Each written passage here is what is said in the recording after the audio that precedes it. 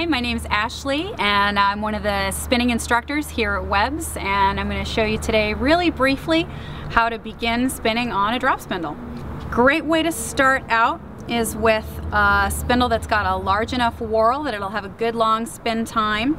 This is a four inch whorl. This spindle is made by Schacht and it's a Hi-Lo, meaning it can either be used as a high whorl or as a low whorl spindle. Great way to begin is with a leader thread. I've got a length of yarn here. I'm gonna double that over. And right at the end here, I'm gonna just create a loop and draw both ends of the yarn through that loop, cinching that right down nice and tight. And then roll a little bit of that onto the spindle.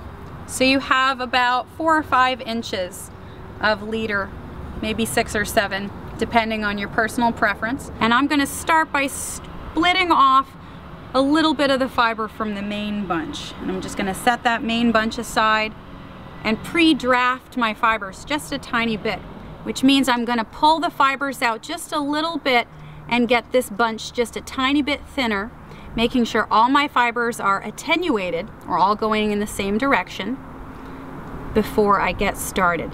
This means that I'm gonna have just a little bit less tugging to do when I get started spinning.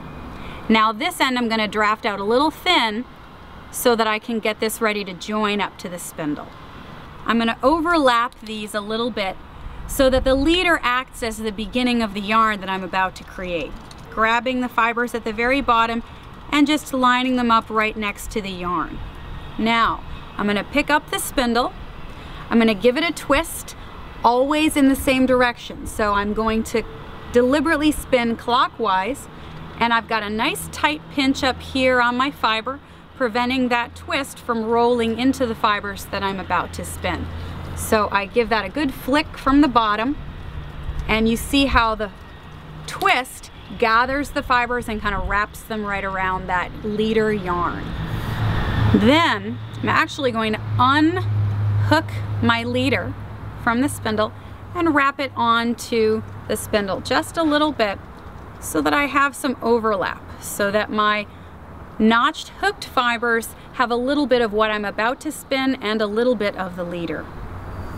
And then I'm gonna add a little bit more twist and a great beginning technique called park and draft means that I'm going to tuck the spindle between my knees, pinch underneath my existing pinch, and back these fibers up a little bit. So I draw them out, and then I'm gonna pinch again right on the top of what's left of my leader yarn. Now I'm gonna slowly roll open my bottom fingers and you can see the twist move right up to meet my next pinch. Then it's just a question of repeating what you've already done. Adding a little bit more twist, pausing the spindle, parking it, pinching under the existing pinch, drafting back, pinching again, and then allowing those bottom fingers to roll open. Once I've spun enough yarn, I'm gonna wanna wind on the leader thread and then notch my fibers back up around that top hook and keep adding twist.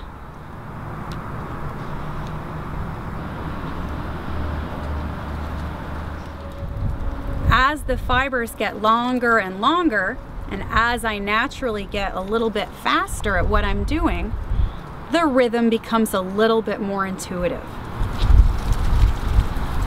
When you reach the end of your fibers, getting ready to join more together, you want to overlap the fibers. So we draw the fuzzy end out here, and I draw the fuzzy end out here, and I'm just going to overlap the two. And let a little bit of twist move in here, and that smooths over and covers the join so it's less obvious.